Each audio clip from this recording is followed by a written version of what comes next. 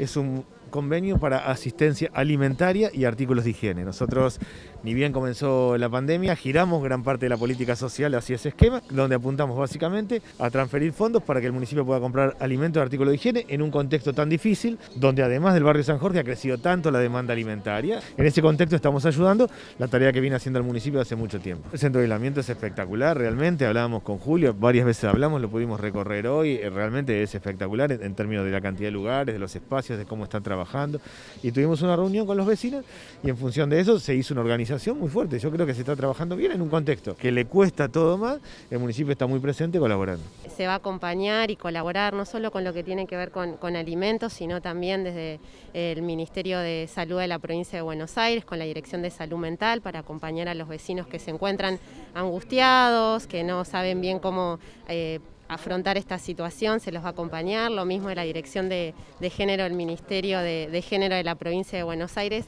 y claramente el acompañamiento con lo que tiene que ver con alimentos desde el Ministerio de, Desarrollo Social de la Provincia de Buenos Aires. Así que fue una reunión muy positiva, donde se pudo escuchar las necesidades concretas de los vecinos y trabajar articuladamente.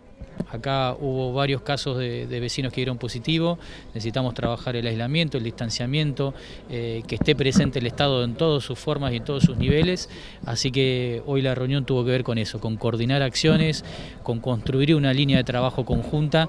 en los tres niveles del Estado y la comunidad para que eh, rápidamente podamos de alguna manera encapsular digamos, el contagio, que no se propague y pensar digamos, en, el resultado positivo que va a ser el bienestar de cada una de las familias. La verdad que le agradezco al ministro Daniel Arroyo, las autoridades de provincia que también están colaborando en el barrio. Está el Estado presente en todas sus jurisdicciones, poniendo foco en este barrio, que es el barrio San Jorge, que ha tenido un contagio exponencial y por eso es necesario que pongamos todo el esfuerzo, toda la energía desde, desde el Estado Nacional, el Estado Provincial y el gobierno local para poder sobrellevar estos días que van a ser eh, días de, mucha angustia que tiene la gente, pero tenemos que estar al lado de ellos, escuchando las problemáticas que nos plantean. Los vecinos hasta ahora, por suerte, todos los vecinos que han tenido esta, esta detección, este, están transitando con síntomas leves el virus hay que estar presente, hay que estar junto a ellos, hay que acompañarlos. El centro de atención al vecino está